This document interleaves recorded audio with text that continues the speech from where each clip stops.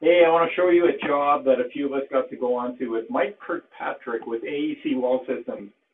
He built a house 5,000 square foot and he panelized all the walls off-site, trucked them to the job, put all the panels up in one day. And I want to show you how that was done. I got some good video footage, time lapse and stuff that I'm going to show you later on in the video, probably about halfway through. So what made this work, what's happening in the field right now is this product. Is a product called Helix. Helix comes in a box, 45 pounds, about 20 kilograms per box, and you put a number of these boxes in a ready-mix truck. They have charts. Helix has these charts, and all the engineering is done to tell you how much of a dosage you need. Now, this is a strand of steel, and they're about an inch long. Actually, I'll put a picture right here, and you can see exactly what it looks like. It's twisted. It's got a plating on it, so it'll never corrode, and it puts tension where you need it in the wall. So if if you're above grade and you got wind hitting the wall and then not hitting the wall, and you don't know where the tension is going to be, well, Helix got you covered. They're going to give you tension all over the place. And it's an amazing product. The engineering is incredible. And if you look at their website, see if I can go here, Helix Micro Rebar. Now it's helixsteel.com. I'll put that up top here. And Twisted Steel Micro Rebar. On this site, they're going to show you all kinds of things about it. There's some videos on it, and you can find out exactly how it works. Now, Mike Kirkpatrick's company, AEC Wall Systems, that's Alternative Energy Construction, they did these walls, and this is how they did them. They, they had these corners. They'd stack them up seven rows high, eight rows high, ten rows high, depending on the job, right? Now, seven rows high, that's what I'm holding right here. That would be nine foot four, and that would weigh about 60 pounds. That's all. Now, if you put corner bar in, they actually put corner bar in their job. That's going to put it up to 80 pounds or so. And put that into place, and then they would make panels with the block. Two block long would be eight foot, and they went seven rows high, that's nine foot four, and that would weigh about 100 pounds. Now, there's no rebar in there because the, the helix is going to cover that, right? So put that panel into place, and now you've got a stack seam. Now, I used to teach not to do stack seams. I've changed my mind on that.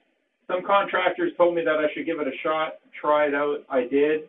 I'll never go back. Stack seams are awesome because they speed a job site up and it puts all your studs in the right spot. So now the sheetrock guy doesn't complain like he's going to complain anyways, right?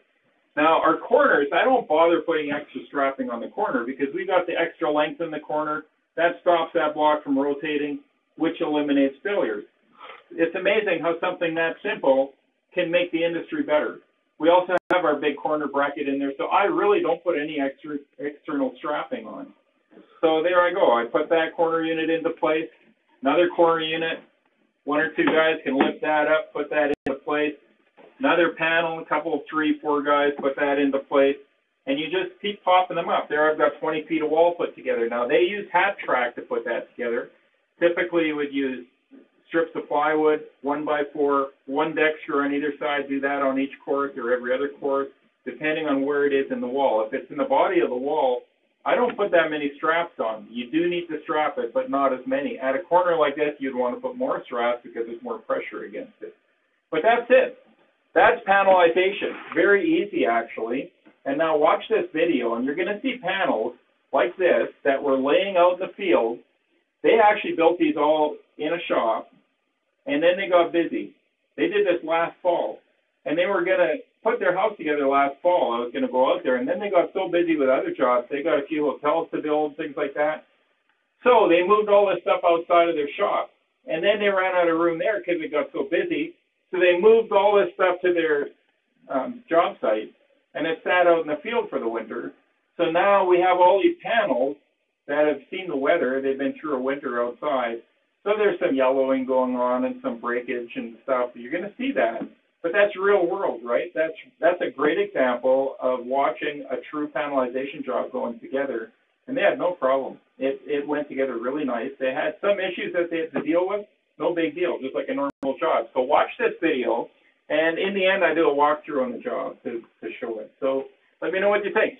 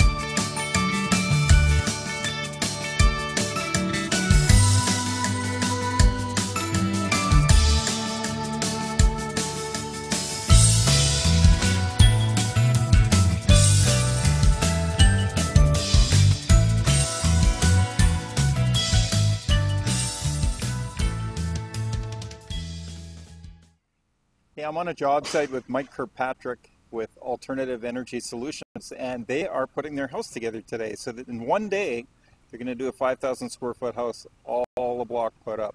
And it's a complex house, it's not an easy house. And the way they're doing it, let me just show you here. You can see in the distance panelized product. So that's Fox Blocks put in panels before the job starts. And they started lifting these panels up, and you can see these walls 12 foot high. They started this at about 7:30 this morning, and I just want to show you the scope of what they've done. These panels are about eight foot long each on average, and they're using the crane for the taller 12 foot walls. But when they get down to the 8 foot to 10 foot high walls, they're hand bombing them into place. And you're going to see that in a bit. But here you can see they're doing a lot of interior walls. Like I said, a 5,000 square foot home. Windows are all in already. The corners were just stack seamed and they're using this metal bar to hold them together. You can see them in the distance getting some panels put up. It's been on average about six men helping to put this together. You can see these panels sitting here all labeled ready to be used. We've got some reveal product so that plywood will be removed and they'll have exposed concrete on the interior wall of the house for some of the walls. We're going to be doing some fancy radiant heat in the walls, things like that. And you can see them moving some of these panels around. It's actually quite easy and they are extremely durable. They even went as far as to put a finish on some of the walls before they even stood them up. And that's a rhino stone that they put on. It's a peel and stick membrane. Looks awesome, and it's working really well. They- They're really happy with the with the results of it. So here they go with one more panel getting put on, and they're hoping to be done actually early. They'll probably be done by 4:30. And like I said, not a comp, not an easy house, very complex.